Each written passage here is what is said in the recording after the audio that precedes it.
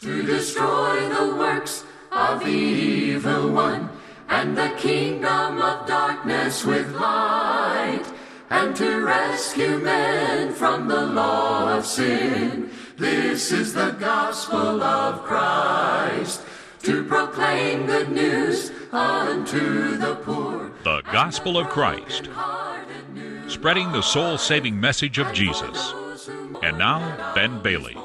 This is the gospel of Christ. In Hebrews chapter 9, verse number 27, the Bible says, It is appointed to man once to die and then the judgment. We welcome you today to our study about the truth concerning heaven and hell. We're glad you've joined us for our study today. It is of eternal importance as we think about the destiny of every man as he lives his life in accordance with the Word of God. And so we hope that you'll locate your Bible and have it handy as we're going to think about eternity from God's view. As always, today's lessons are being brought to you by individual members of the Church of Christ and congregations of the Lord's church in your area. The Church of Christ would love for you, and your area would love for you to stop by and visit their assembly on Sunday or Wednesday, you would be an honored guest at any of their assemblies. And so we encourage you to visit the Lord's church in your area. You'll find a group of people there who just want to follow the Bible, who love God, who are concerned about souls, and who are warm and kind to visitors. And so please visit the Lord's church in your local area. Also, we'd love to help you here at the Gospel of Christ. Please visit our website, thegospelofchrist.com. We have a wide variety of audio and video and uh, transcripts available online. We'd love for you to check those out. They're all available free of charge for download. And so visit our website, thegospelofchrist.com. Uh, from there, you can fill out a media request form. If you'd like to have a digital download of those, you can select that. Or if you need a video or CD, we can make that available to you as well. And friend, we also have apps available for the smartphone, both Apple and Android. You can download those from the respective Play stores, and we want to encourage you to do that. And friend, our, our mission here at the Gospel of Christ is simply to take the whole gospel to the whole world. As we talk about matters today that are specific to eternity, we want you to know that we speak out of a love for your soul. The only thing we want for you is for you to go to heaven. More than anything, we want you to know God, know His will, and know that you're right with Him. And so, again, we hope you've got your Bible handy as we're going to consider this wonderful subject today. What's it going to be like in hell? You know, if I could just get a little glimpse, if I could peek in the windows of hell, it would probably be enough to prevent anybody from wanting to go there. And so let's try today to see what it's going to be like if one is lost on the other side. Would you open your Bible with me to Luke chapter 16?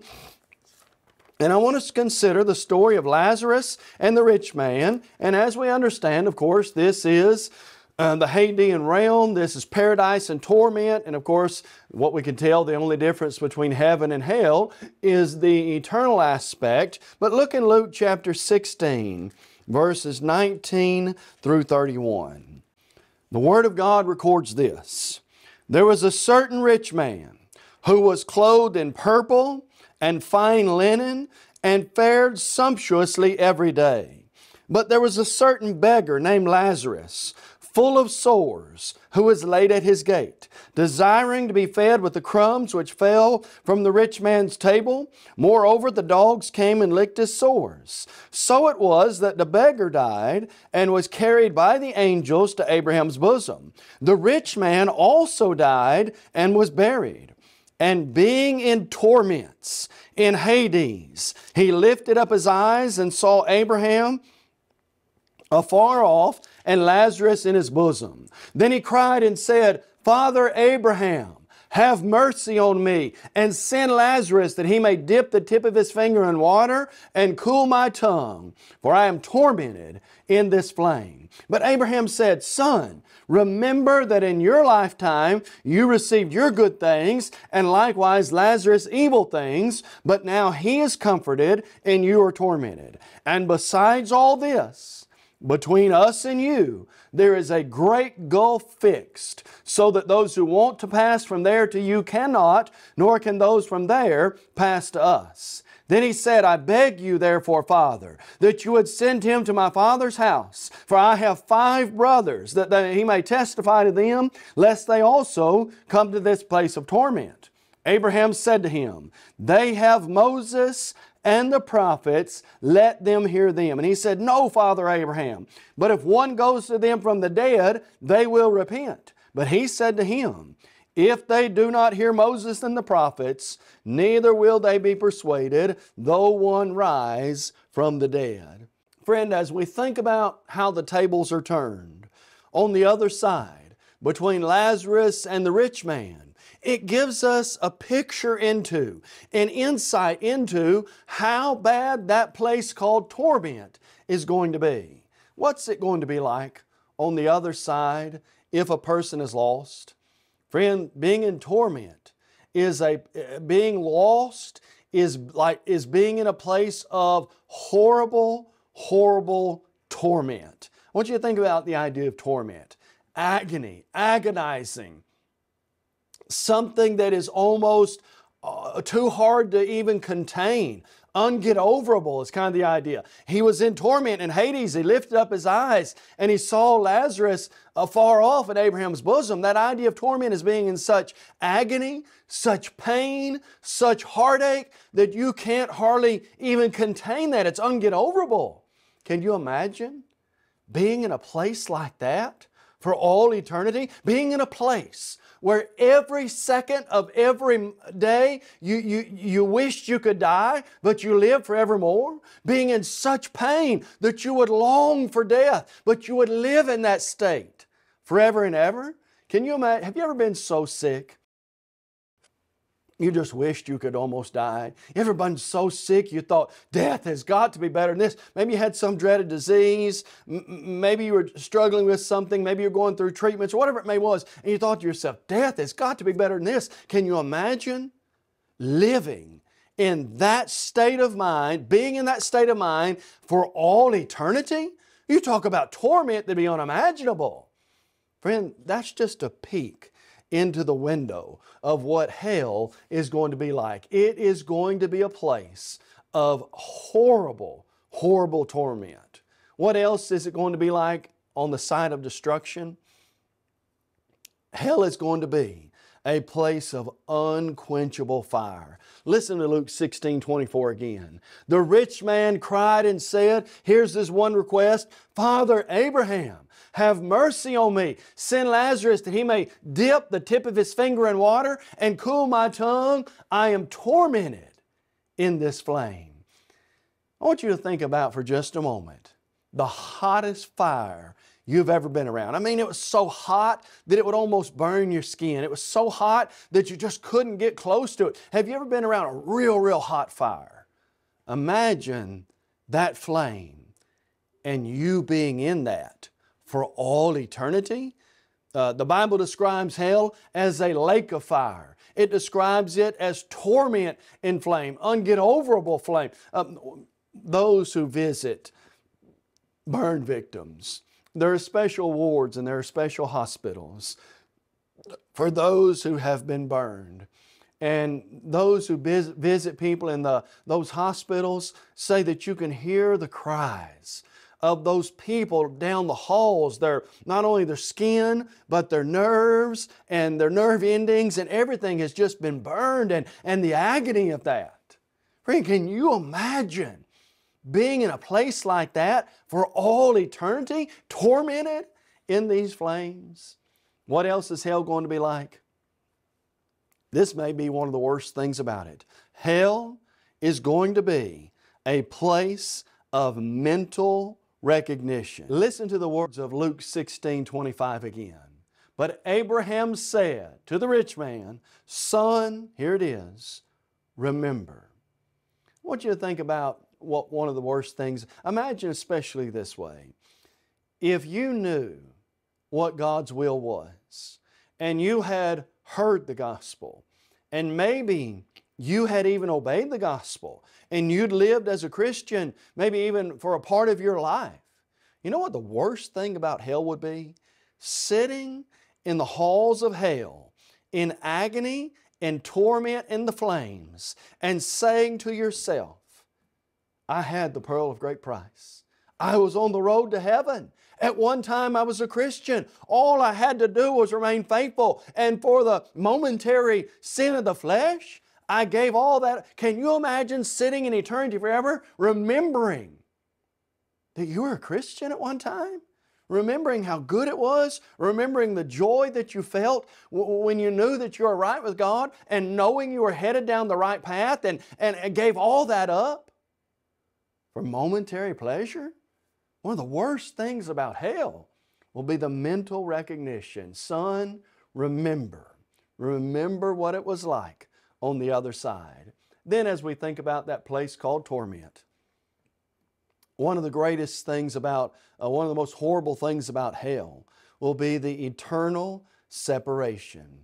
There will be a separation between those who are lost and those who are saved.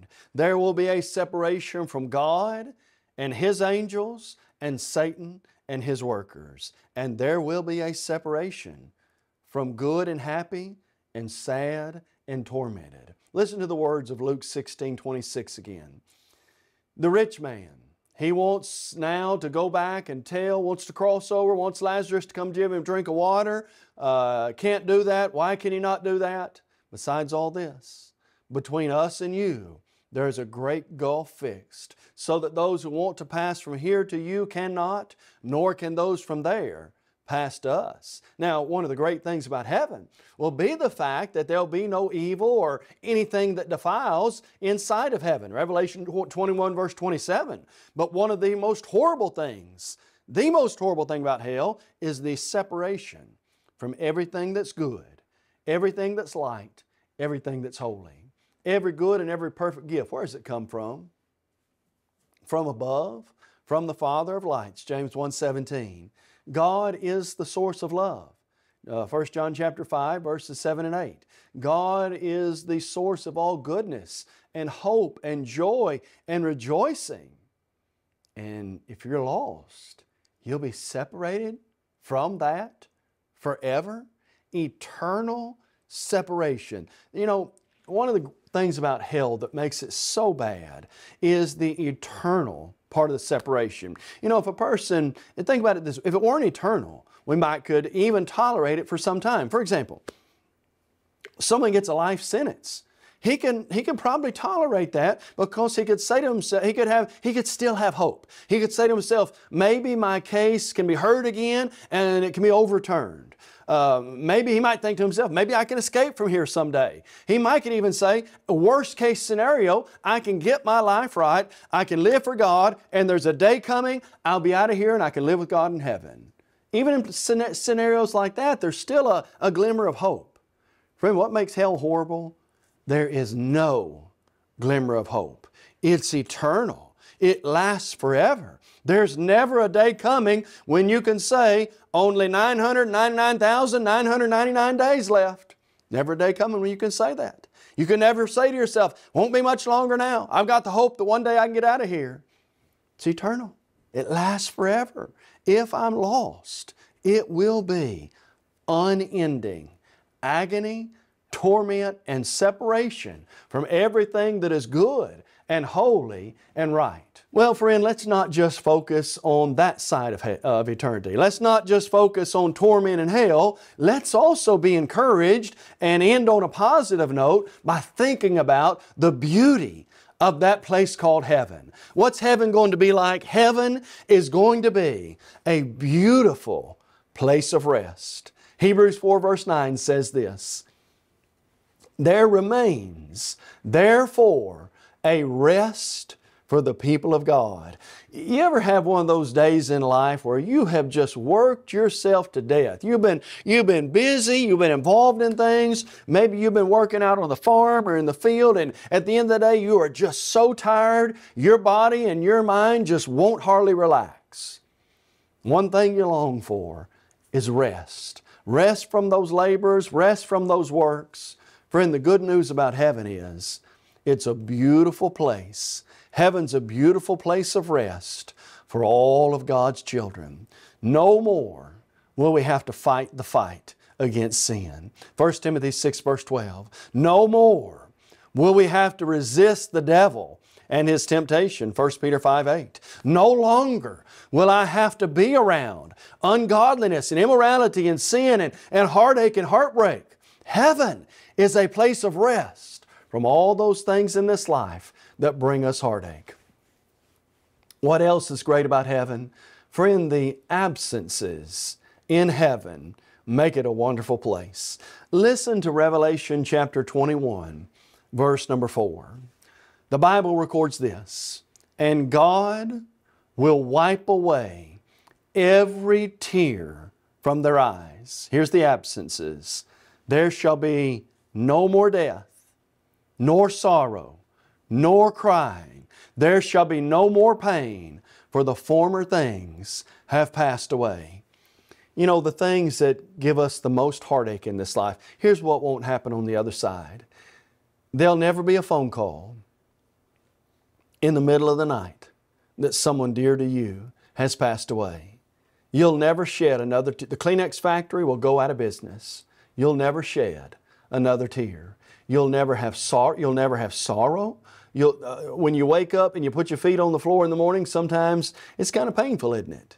You'll never face that pain. Pain, sorrow, death, crying, heartache, sin, evil, wickedness. Revelation 21 27 says, Nothing that defiles will enter in. All that's evil and ungodly and immoral, completely absent. Can you imagine a place like that? Absolute bliss absolute happiness, joy beyond measure. Um, uh, Revelation or Matthew chapter 19 and Matthew chapter 25, you hear these words Well done, good and faithful servant, enter into the joy of your Lord. A place of joy and happiness. That's what each one of us is longing for. But here's the greatest thing about heaven heaven is where God is. Do you remember the words of Jesus in Matthew 6, verse 9? Jesus said, In this manner, therefore pray, Our Father in heaven, holy is your name. When I was a lot younger, I can remember hearing about heaven, and I would think about the streets of gold. Can you imagine a street made of full gold. I used to think about the pearly gates and the, the walls of diamond and jasper and all the, the beautiful, physical, touchable, tangible things. And I used to think, man, that's the greatest thing about heaven. Now, that's not what's great about heaven. What's great about heaven? God's there. Heaven is where God is. Jesus is there. The Bible teaches in Hebrews 1 verse 4, Jesus is seated at the right hand of the Father in heaven. And not only is God there, and not only is Jesus there, our loved ones who've gone on are also there. 2 Samuel chapter 12, verse number 21 through 23. David's young son, from the adulterous relationship with Bathsheba dies. While the son was alive, David wept, he mourned, he prayed, he did what he could to plead for the son's life, but when he died, David, in essence, cleaned himself up and began to progress toward moving on with life. And the servants are kind of perplexed by this. And so here's what David says to them He cannot come to me, I must go to him. David believed he was going to be with those people, his son, on the other side. And friend, our loved ones who've gone on before us, we have the hope that we'll be with God, that we'll be with Jesus, that we'll be surrounded by saints of old, Hebrews chapter 12, verse 1, and that our loved ones, maybe you've lost somebody in the Lord who is really close to you son or a daughter, husband or wife, father or mother, brother or sister, a really close friend. Friend, what's going to make heaven great? If you were a Christian, they were a Christian, friend, you can have that fellowship with them unending for all eternity. Not in a place where time exists and where there's a last day coming. Eternal fellowship and joy beyond measure. And friend, here's one of the things we also want to mention about that beautiful place called heaven. Paul taught us in Romans chapter 8 that heaven is going to be worth it all. I want you to notice this verse with me. Romans chapter 8, verse number 18. The Apostle Paul says, For I consider that the sufferings of this present time are not worthy to be compared with the glory which shall be revealed in us. Now, we understand Paul faced a lot. He was beaten, he was mocked, he was, uh, he was left in the sea, he was ran out of towns, he had rocks bounced off his head in various places in the book of Acts, he was left for dead. Paul suffered a lot. Why did he do that? I consider the sufferings of this present time, they're not even worthy to be compared with the glory which shall be revealed in us. What's that verse teach us? Heaven will be worth it all.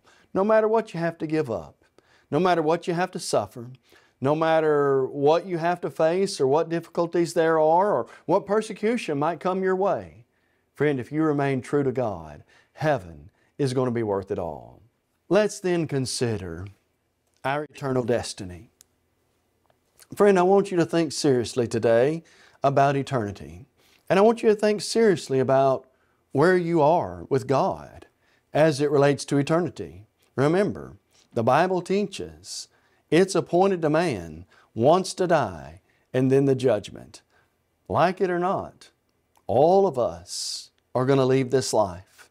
And every one of us will stand before the judgment seat of Christ and we'll give an account of the things done in the body, whether good or evil. 2 Corinthians 5, verse number 10. If you stood before God right now, where would your eternal destiny be? Are you living your life? Are you a child of God?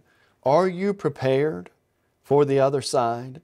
Are you sure that you're a Christian? That you've obeyed the gospel? You see, my friend, the only way that I can make it through the judgment seat of God in a victorious and joyful way is I, if I'm a child of, of, God, if I'm a member of the Lord's body. We say, well, what do you mean I'm a Christian, a member of the Lord's body? What does the Bible teach a person has to do to be saved? Well, listen to what the New Testament says. Jesus taught us that we had to believe He was the Son of God.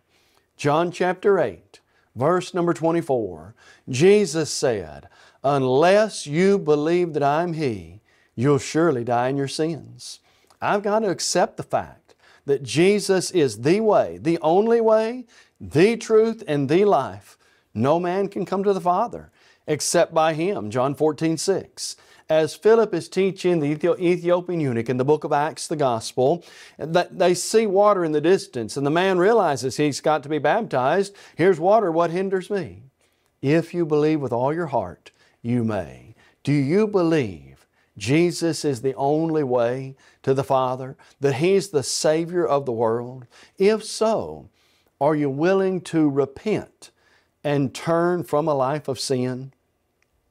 You see, my friend, all of us are of an accountable age, who are of an accountable age, we've all sinned. Romans 3 verse 10 says, There's none righteous, no, not one. All have sinned and fallen short of the glory of God. Are you willing to turn from that sin and turn to God? Remember, not saying that we're all perfect. That's not the idea. But I want to make a commitment to do my best to turn from a life of sin and turn to God. Here's what the Lord said in Luke 13 3 and in verse 5. Jesus said, Unless you repent, you'll all likewise perish.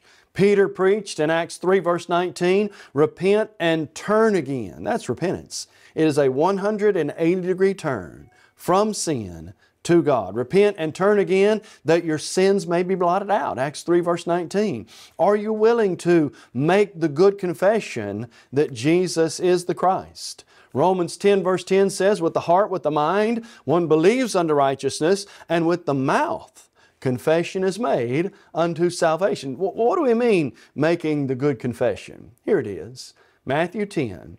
32 and 33. Jesus said, If you won't confess me before men, neither will I confess you before my Father who is in heaven. But if you will confess me before men, I'll also confess you before the Father who is in heaven. And so, would you make the good confession that Jesus is the Son of God, the Savior of the world? And, friend, to have every sin washed away, to get into Christ, to be saved and on the road to heaven, would you be immersed in water for the forgiveness of your sins? Uh, listen to these Bible verses. Mark 16, verse 16, Jesus said, He that believes and is baptized will be saved. Peter preached in Acts 2.38, Repent and be baptized for the remission of your sins. John 3 verses 3 and 5, Jesus said, Unless a man is born of water and the Spirit, he cannot enter the kingdom of God. And Saul of Tarsus, who, who said to the Lord in Acts 9 verse 6, Lord, what would you have me to do?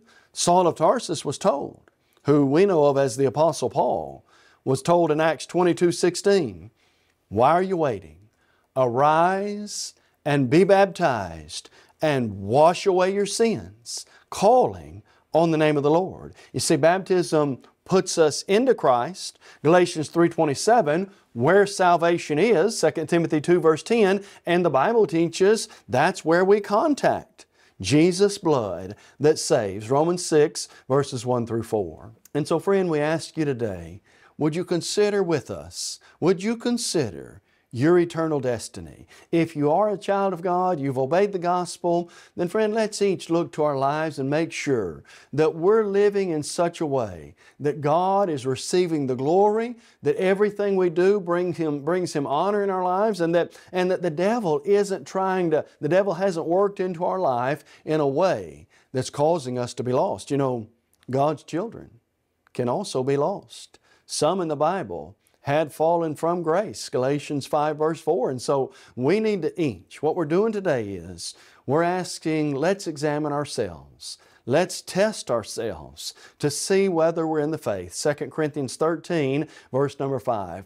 We're so glad that you've joined us for our broadcast today. We hope that each of us will think seriously about eternal matters. There is nothing more important than your soul. Think about eternal matters. Let's make sure we're right with God. If you've never obeyed the gospel, we'd love to visit with you about that. And friend, if you are a Christian, the encouragement today is keep on keeping on. We hope you'll join us next time as we study more about God's truth. You may have just joined our program and are wondering, what is the gospel of Christ? The gospel of Christ is an evangelistic work of the churches of Christ that reaches the whole world with the gospel through TV, streaming, free media, and internet. Our motto is truly to take the whole gospel to the whole world.